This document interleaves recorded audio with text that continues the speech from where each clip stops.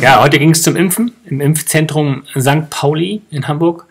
Ähm, Herr Dr. Sebastian Grefe hat uns sehr gut beraten und wir haben uns unter anderem auch gegen Tollwut impfen lassen und gegen andere Krankheiten, die in der Region vorkommen, Hepatitis und so weiter. Ein kleiner Pieks und dann war es auch schon vorbei. Und jetzt freuen wir uns auf die Reise.